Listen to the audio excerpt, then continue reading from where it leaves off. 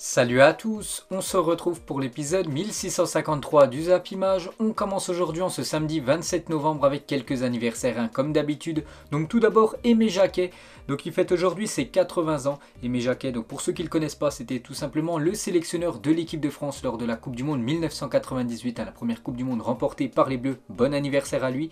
Il y a un autre euh, sélectionneur qui fête son anniversaire aujourd'hui, donc actuellement lui il est en poste, c'est Roberto Mancini, le sélectionneur italien qui fête lui aujourd'hui. 57 ans. Ensuite, on va parler du match de Ligue 1 hier soir. C'est entre l'équipe de Lens et l'équipe de Angers. Donc une très belle partie de football qui s'est clôturée avec un match nul de partout entre ces euh, deux équipes. Donc tout sauf euh, nul. Hein. Voilà ce match. Bon, il y a eu match nul. Mais dans le jeu, les gars, hein, c'était vraiment une belle partie euh, de football. On peut voir les statistiques. Hein. Donc c'est du kiff-kiff. Donc plutôt logique ce score de match nul. Et seul Bordeaux fait mieux 51-47. Les matchs de Lens ont produit 47 buts cette saison en Ligue 1. 27 pour et 20 contre. C'est vrai que souvent quand Lens joue en Ligue 1, bah, il y a beaucoup de buts, hein, que ce soit pour eux ou contre eux. Donc il y a juste Bordeaux, il y a eu plus de buts euh, dans leur match, hein, simplement 51 pour les Girondins.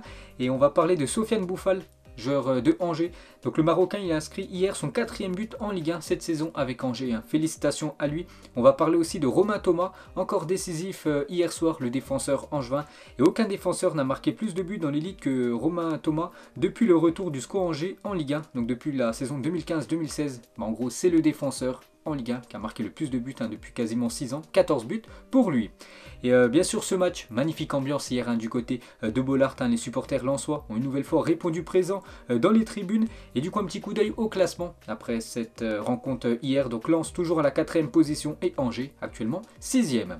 Ensuite, direction l'Espagne avait un match hier à Bilbao contre l'équipe de Grenade et coup d'arrêt pour les Basques de Bilbao. Ils se sont fait tenir en échec à domicile un deux partout contre cette équipe de Grenade. En Allemagne, il y avait Stuttgart contre l'équipe de Mayence, victoire de Stuttgart 2-1 à domicile. Et pour finir, en Italie. Hier, un match de mal classé. Hein. C'était l'avant-dernier qui recevait le dernier. Donc Cagliari contre Salernitana, ça s'est clôturé un partout.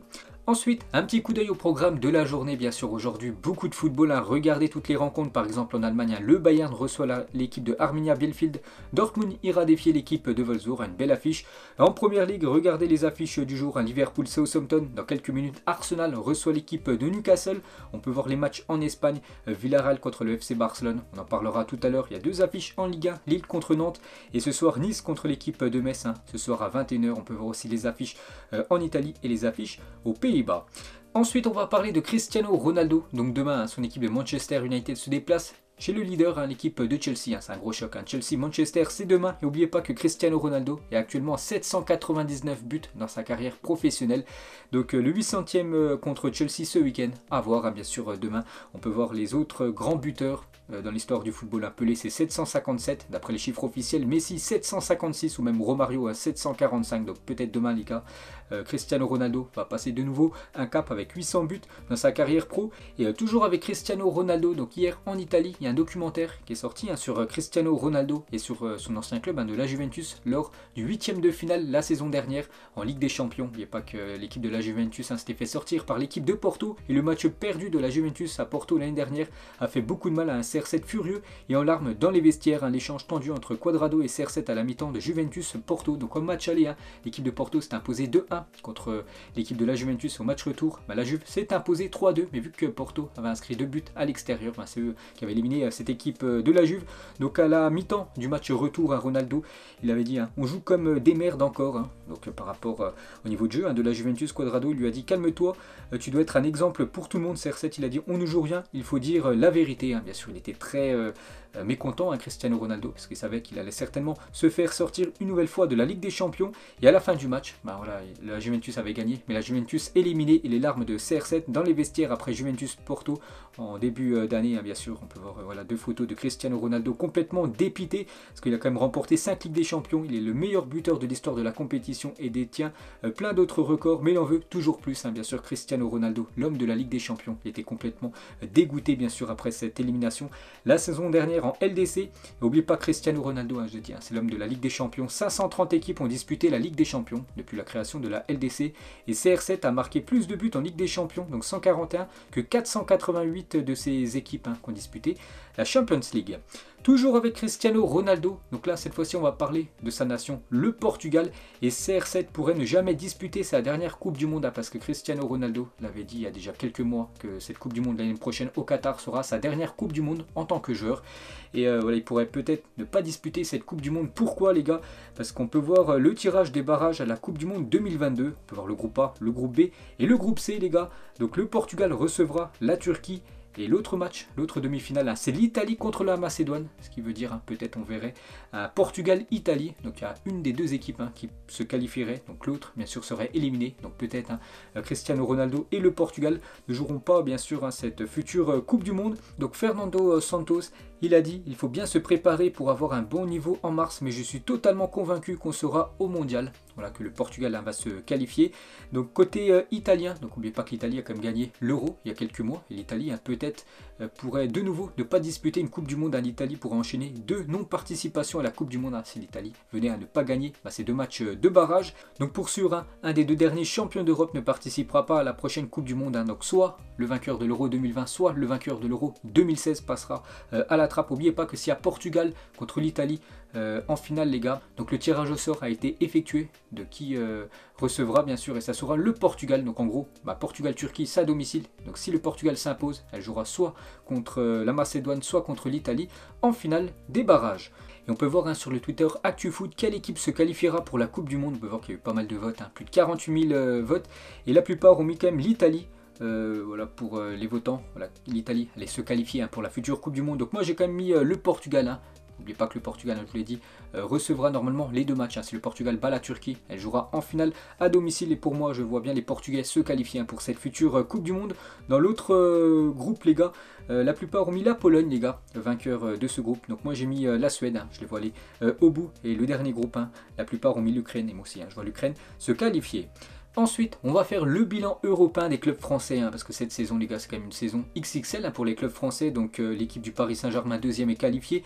L'équipe de Lille, en première position, il reste plus qu'une journée très bien partie hein, pour voir les huitièmes de finale de la Ligue des Champions. Monaco qualifié, Lyon qualifié, euh, premier à chaque fois. Rennes qualifié, aussi premier de son groupe. Et Marseille, un troisième éliminé. Pour l'instant, il n'y a que l'OM hein, qui est éliminé de la Coupe d'Europe. Et l'OM n'a remporté qu'un seul de ses 19 derniers matchs en Coupe d'Europe. Hein. je l'avais dit hier, seulement une victoire, 5 matchs nuls et 13 défaites pour l'Olympique de Marseille. Et sans poli, les gars, par rapport à ces défaites. Euh, au Galatasaray avant-hier. On est déçu. On voulait se battre pour la qualification, c'était notre rêve. On a un groupe jeune qui apprend aussi à se connaître et il faut désormais penser au match de dimanche et se dire qu'on doit grandir rapidement et être plus mature. Hein. Donc voilà ce que dit euh, Sampoli par rapport à la défaite contre le Galatasaray. Et il parle de Dimitri Payet, donc Payet contre le Galatasaray. Il était euh, suspendu, mais normalement il sera là dimanche. Donc Payet, c'est un moment compliqué pour lui. On va voir comment il se sent. Le match de dimanche est important. Donc c'est Marseille contre l'équipe de 3. Il faut rebondir, passer à autre chose s'il se sent bien, il jouera, sinon un autre prendra sa place hein, par rapport à ce qui s'est passé lors de l'Olympico, bien sûr, parce qu'il est toujours très choqué, hein, bien sûr.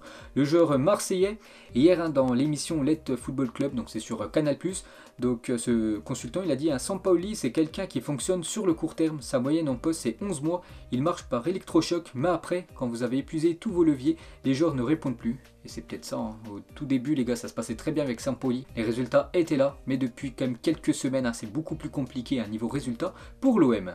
Toujours avec cette équipe marseillaise, on va parler de Valentin Rongier, hein. c'est un peu le couteau suisse de cette équipe marseillaise. Pourquoi? Parce qu'il peut jouer un peu partout. Regardez depuis le début euh, de saison, tous les postes qu'il a occupés, arrière droit, milieu défensif, milieu relayeur, milieu droit ou même milieu offensif. Donc il joue un peu partout, bien sûr, euh, Rongier. Et euh, pour finir les gars avec l'OM, on va parler de Boubacar Camara. Donc alors qu'il était attendu à répondre aux questions Camara refusé de se présenter en conférence de presse. Donc euh, aujourd'hui, l'OM aimerait d'ailleurs que le Minot s'exprime clairement sur ses intentions concernant son contrat. N'oubliez pas qu'il est en fin de contrat, en fin de saison. Et euh, pour l'instant, bah, on ne sait toujours pas s'il veut prolonger ou non. Bah, s'il prolonge pas, bah, il partira gratuitement l'été prochain de l'OM. Ensuite, regardez la une du journal L'équipe aujourd'hui, une équation et des inconnus. On peut voir bien sûr Pochettino avec euh, cet effectif hein, de malade hein, du côté de Paris. Donc depuis son arrivée le 2 janvier 2021, l'entraîneur argentin ne parvient pas à tirer le meilleur de son effectif galactique, même s'il envoie des signaux équivoques sur son avenir. Il n'entend pas renoncer en cours de saison. Donc voilà, euh, la une de ce journal L'équipe. Et Leonardo a dément auprès de la AFP euh, tout contact avec Zinedine Zidane, hein, parce qu'on entend depuis quand même quelques jours hein, que Zidane pourrait devenir très prochainement le futur entraîneur de cette équipe du PSG. Donc il a dit on n'a pas envie que Pochettino parte, il n'a jamais demandé à partir, il parle de Zidane, à hein, Leonardo. Euh, Zidane, je peux vous affirmer très clairement qu'il n'y a aucun contact et qu'aucune rencontre avec lui n'a eu lieu. Bon après c'est ce qu'il dit, on ne sait pas si c'est vrai euh, ou non. Quelques déclarations d'Aurel Di Maria, donc genre du Paris Saint-Germain sur RMC hier je crois. J'ai déjà démontré que je pouvais jouer à ce poste, donc au milieu de terrain. C'est d'ailleurs ma meilleure année au Real Madrid en 2014. L'entraîneur sait que je peux jouer là, mais après ce sont ses euh, décisions. Donc voilà, Real Di Maria dit qu'il peut jouer en milieu de terrain dans l'axe. Hein. C'est ça qu'il avait déjà évolué à l'époque hein, du côté du Real en tant que milieu. Euh, toujours avec Di Maria, c'est vrai qu'en Argentine, on a les mêmes problèmes, mais ce qu'il s'est passé en France avec les projectiles, c'est moche, ça fait de la mauvaise pub. J'aimerais dire aux gens que c'est euh, du foot, qu'il y a des enfants. Ces choses-là ruinent le football. Hein. Donc ça, je suis entièrement d'accord, bien sûr, avec Aurel Di Maria. Toujours avec lui, j'espère partir par la grande porte d'un grand club comme le Paris Saint-Germain. Si je peux partir en fin de saison dans l'hypothèse euh, d'un grand titre, j'espère surtout avoir un an supplémentaire. Hein. Donc voilà l'objectif, hein, bien sûr, d'Aurel Di Maria, prolonger d'une saison supplémentaire hein, du côté de Paris. Se sent très bien du côté du PSG. Euh, Aurel Di Maria, toujours avec lui, si on tente de convaincre Mbappé de rester, il a dit non. Il sait euh, quelle direction il veut donner à sa vie, à sa carrière. On voudrait lui dire qu'il prolonge, qu'il ne parte pas mais ce sont des décisions personnelles, hein, bien sûr, par rapport à Kylian Mbappé. Donc voilà, Mbappé, hein, bien sûr, ça sent quand même le départ en fin de saison. Et toujours avec euh, Di Maria, il parle cette fois-ci de son compatriote argentin, Léo Messi. Il est très content, sa famille euh, s'adapte bien, ses enfants se plaisent à l'école, il a trouvé sa maison, il s'adapte bien avec les gens du club, hein, du côté euh, de Paris. Et toujours avec Messi, il parle du Ballon d'Or. Messi mérite le Ballon d'Or 2021. Il a eu une année importante et gagné la Copa avec son pays. Juste pour ça, il le mérite largement. voilà ce Ballon d'Or. On va parler les gars du Ballon d'Or. Hein. Donc le Ballon d'Or, la cérémonie, c'est après-demain. Et euh, oubliez pas lors de la dernière euh, édition du Ballon d'Or, donc c'était pas l'année dernière, c'était il y a deux ans, en 2019. Hein, l'année dernière, ça a été annulé. Donc le Ballon d'Or revient lundi. Le dernier prix masculin, Messi contre Van Dyke, était la course la plus serrée de ce siècle jusqu'à présent. Donc euh, Messi a obtenu 24,4% des votes et Van Dyke 24,1% des votes. On peut voir le top 10. Hein. Donc Messi premier, Van Dyke deuxième, Cristiano Ronaldo avait terminé troisième en 2019, Mané quatrième. le premier français, bien sûr, c'est Mbappé, c'est le seul français dans le top 10. Hein. Lewandowski avait terminé 8ème. Et euh, toujours avec ce ballon d'or, les gars. Donc c'est la grosse info hein, qui tourne sur les réseaux sociaux. Donc bien sûr, ça va prendre avec des pincettes. Mais voilà, ça semble quand même euh, très fiable. Hein. Donc Léo Messi a été informé par la rédaction de France Football qu'il est le vainqueur du ballon d'or 2021. Donc le joueur argentin recevra son septième ballon d'or le 29 novembre prochain au théâtre du Châtelet à Paris. Donc normalement lundi les gars. Donc euh, voilà, Léo Messi les gars, normalement c'est lui, le ballon d'or 2021. Voilà, je vous le dis euh, en avance. Donc Matteo euh, Moreto a confirmé l'information, les amis du Parisien sont déjà au courant. Voilà que Lionel Messi a gagné hein, bien sûr le ballon d'or. Donc lui le sait déjà, hein. tout le temps le gagnant du ballon d'or hein, le sait quelques jours avant. Donc euh, voilà une grosse info quand même hein, que Léo Messi serait le Ballon d'Or 2021. Donc le classement les gars, ça serait Messi en première position, Benzema terminerait euh, deuxième et Lewandowski les gars terminerait euh, troisième hein, de ce Ballon d'Or 2021. On peut voir aussi une photo hein, qui tourne sur les réseaux sociaux. On peut voir le Ballon d'Or avec quelqu'un qui se prend en photo. On peut euh, reconnaître hein, bien sûr que c'est le joueur argentin euh, Léo Messi. Et n'oubliez pas pour l'instant, hein, c'est seulement euh, des rumeurs, hein. pour l'instant rien d'officiel. Ça sera bien sûr officiel lundi. Le nom du Ballon d'Or 2021 sera révélé lundi prochain au cours d'une cérémonie qui sera diffusée sur la chaîne L'équipe de 20h30 à 22h. Là on connaîtra vraiment officiellement le vainqueur de ce ballon d'or. Il y a de grandes chances, je vous l'ai dit les gars, que ça soit Léo Messi. Mais voilà, Lewandowski les gars, normalement devrait terminer à la troisième position. Et pour Milik, un attaquant marseillais, c'est lui qui aura dû remporter le ballon d'or. Lewandowski mérite le ballon d'or. Je ne comprends pas comment cela pourrait lui échapper. L'an passé, France Football n'a pas décerné le trophée. Et sur les deux dernières saisons, il a été le meilleur et a beaucoup gagné. Hein, bien sûr, Lewandowski, la même chose hein, pour Philippe Lam. Euh, j'ai joué avec Lewandowski au Bayern et je peux vous assurer qu'il est hors norme. Il peut marquer du gauche, du droit et de la tête. C'est le joueur le plus complet que j'ai connu. Il a tout gagné au Bayern sauf le ballon d'or. J'espère qu'il le gagnera lundi on verra bien sûr. Et, euh, toujours avec Lewandowski, hein, donc il fait plus que survoler la concurrence des attaquants en 2021, c'est avec Lewandowski, hein, euh, cette saison, enfin surtout sur cette année 2021, euh, c'est 64 buts. Le deuxième, hein, c'est Kylian Mbappé, quasiment 20 buts en dessous par rapport à Lewandowski, 45, Ronaldo 43 et Messi 41. Et toujours avec le Ballon d'Or, donc il y a 15 ans, jour pour jour, Fabio Cannavaro, donc le défenseur italien, remportait le Ballon d'Or 2006. il devançait Buffon, un autre italien, et Thierry Henry en troisième position.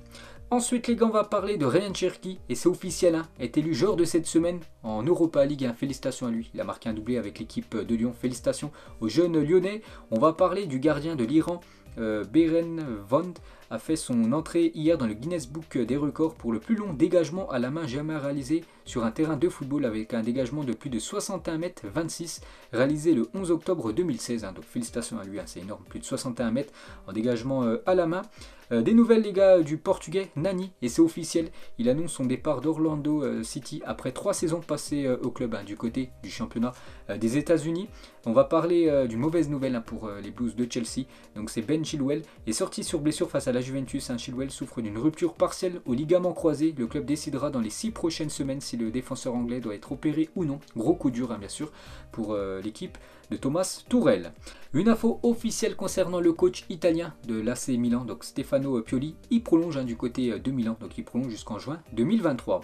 Toujours avec les coachs, donc côté euh, Manchester United, vous savez qu'actuellement c'est Michael Carrick, hein, par intérim, voilà en attendant le nouveau coach. Et le nouveau coach, les gars, ça devrait se décider dans le week-end. et Manchester a trouvé un accord avec le Lokomotiv Moscou pour Ralph Rangnick l'Allemand pourrait signer euh, son contrat avec euh, bah, cette équipe de Manchester ce week-end, les gars. Donc c'est lui, les gars, qui devrait devenir le nouveau coach des Red Devils. Hein. Euh, Ralph Rangnick s'est vu confier deux missions par la direction des Red Devils hein. relever sportivement le club et aider la saison prochaine le nouvel entraîneur Pochettino ou Rogers à monter une Dream Team pour gagner la première ligue hein, dans le futur. Donc voilà l'objectif de cet entraîneur. Normalement, c'est un entraîneur par intérim, enfin qui va faire juste la fin de saison. Puis après, voilà, Manchester aimerait avoir Pochettino ou Rogers aux commandes. Et bien sûr, s'il des bons résultats, il pourrait peut-être devenir bah, l'entraîneur euh, voilà, tout le temps, hein, bien sûr, de cette équipe de Manchester.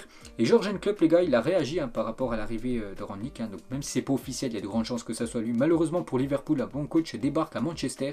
Il a dit en Allemagne, il a permis à deux clubs, Offenheim et euh, Leipzig, de devenir des véritables menaces. Je pense que Manchester sera bien organisé sur le terrain. Évidemment, ce n'est pas une bonne nouvelle pour les autres équipes en première ligue. Ensuite, direction l'Allemagne, on va parler du RB Leipzig et 5 joueurs de Leipzig ont le Covid. Un Pulsen, Novoa, Simakan et Gulaski. Leur match face au Bayer Leverkusen se jouera d'ailleurs à huis clos en raison de la propagation du virus dans la région. Hein. Donc beaucoup euh, de cas de Covid hein, du côté du RB euh, Leipzig. On va parler du FCC 8 qui se déplace demain soir du côté du Real Madrid hein, pour un gros match de Liga. Le premier reçoit le troisième. Et euh, Séville n'a plus gagné au Santiago Bernabéu depuis le 7 décembre 2008 et reste sur un bilan de 13 défaites et un match nul lors de ses 14 derniers déplacements à Madrid. Donc voilà, c'est une équipe qui réussit pas du tout du côté de Madrid, cette équipe de Séville. Côté FC Barcelone, c'est ce soir les gars. Le Barça se déplace du côté de Villarreal. On peut voir le groupe Blaugrana, Umtiti et Dembélé sont présents. Hein. Dans le groupe convoqué par euh, Xavi, on peut voir normalement le 11 qui devrait euh, débuter hein, ce soir côté FC euh, Barcelone. Donc Alba, Gavi, Nico et même bien sûr Memphis Depay en numéro 9. Un côté FC Barcelone. N'oubliez pas ce match Villarreal euh, FC Barcelone il y a deux ans en Liga. C'était clôturé sur un match complètement fou. Hein. Il y avait eu 4 partout entre les deux équipes.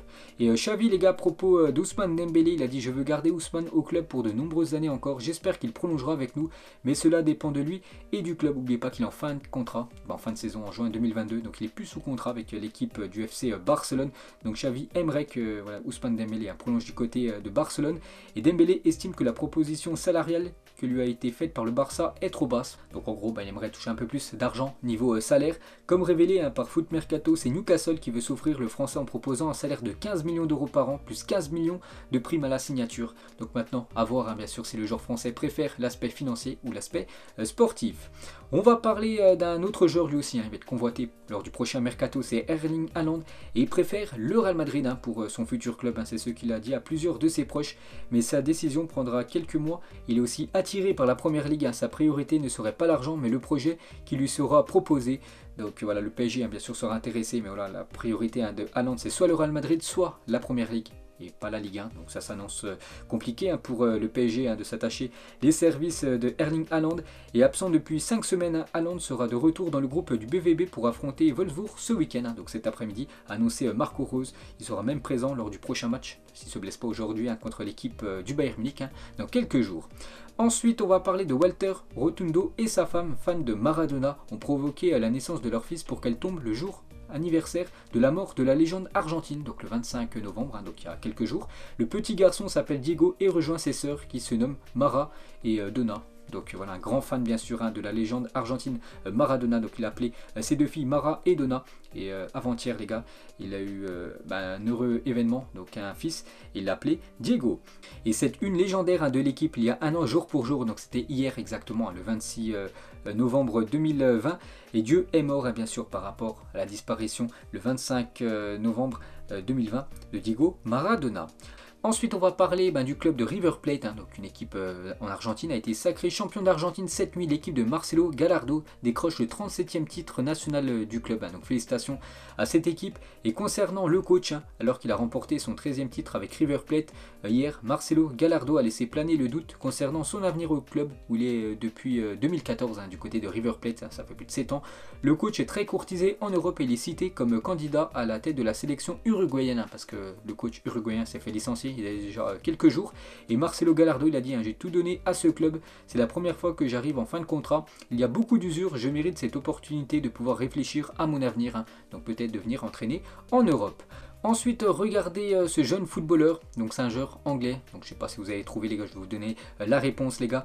Il s'agit euh, d'un ancien joueur de Dortmund hein, qui a été transféré l'été dernier du côté de Manchester United, bien sûr c'est le joueur anglais, Jadon Sancho.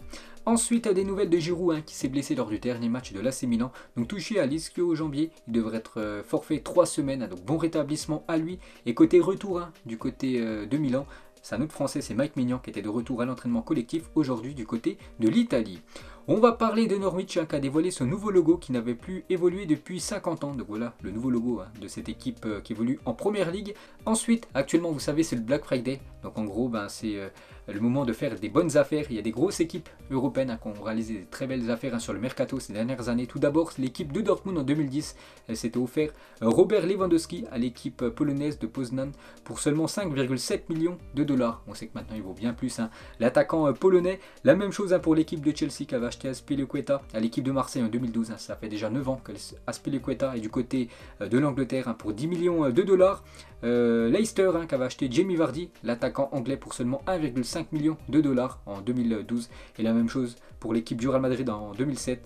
Ils avaient acheté le défenseur brésilien Marcelo à Fluminense pour un peu moins de 8 millions de dollars. Ensuite les gars, regardez ces 5 attaquants qui évoluent actuellement dans le championnat français. La saison dernière, ils ont fait une saison correcte, mais ce début de saison 2021-2022, c'est très compliqué, hein, que ce soit Kadewere, Yilmaz, Milik, Volant ou même Mofi, un attaquant de Lorient. On peut voir les stats la saison dernière et les stats actuellement. C'est qu'il y a d'énormes différences. Par exemple, un Yilmaz, la saison dernière, un 16 buts, et actuellement, ce début de saison, c'est seulement 2 buts hein, du côté de Lille. Ensuite, Gradure et Ronaldinho, hein, donc euh, le rappeur et la légende brésilienne. On va parler cette fois-ci de la FIGC, donc par l'intermédiaire de son président, a annoncé qu'elle pourrait prochainement être amenée à sanctionner les joueurs non vaccinés qui représentent 4 à 5% des effectifs professionnels du côté de la Serie A. Objectif faire intervenir le gouvernement en cas de danger. Donc en gros, peut-être hein, tous les joueurs non vaccinés du côté du championnat italien ne pourraient plus jouer des matchs de Serie A. Ensuite, le 11 de l'Inter Milan en finale de la Ligue des Champions en 2010. Hein, regardez cette magnifique équipe avec du Julio César, euh, on peut voir aussi Zanetti, Cambiasso ou même Schneider et devant bien sûr Militao ou même Samuel Eto'o. Et on finit les gars ce zappimage aujourd'hui avec les meilleures déclarations de Georges Best. Hein, euh, donc, qui nous a quittés il y a déjà pas mal d'années. En 1969, j'ai arrêté les femmes et l'alcool. Ça a été les 20 minutes les plus dures de ma vie. Il a aussi dit, hein, si j'avais été moche, vous n'auriez jamais entendu parler euh, de la légende Pelé. Euh, d'autres déclarations, cette fois-ci euh, par rapport à David Beckham. Son pied gauche ne lui sert à rien, il est mauvais de la tête, il ne sait pas tacler et il ne marque pas souvent. À part ça, il est bien. Et il parle aussi de Cristiano Ronaldo. Il a déclaré euh, pendant des années, j'en ai vu défier des nouveaux George Best. C'est la première fois que je prends ça pour un compliment, hein, vu que bien sûr CR7 à l'époque était très fort. Bon, il est toujours fort, hein, bien sûr, le joueur portugais. Donc voilà les gars, la fin de ce zap image. Donc si ça vous a plu, un petit like et on se retrouve demain pour le prochain épisode. Ciao à tous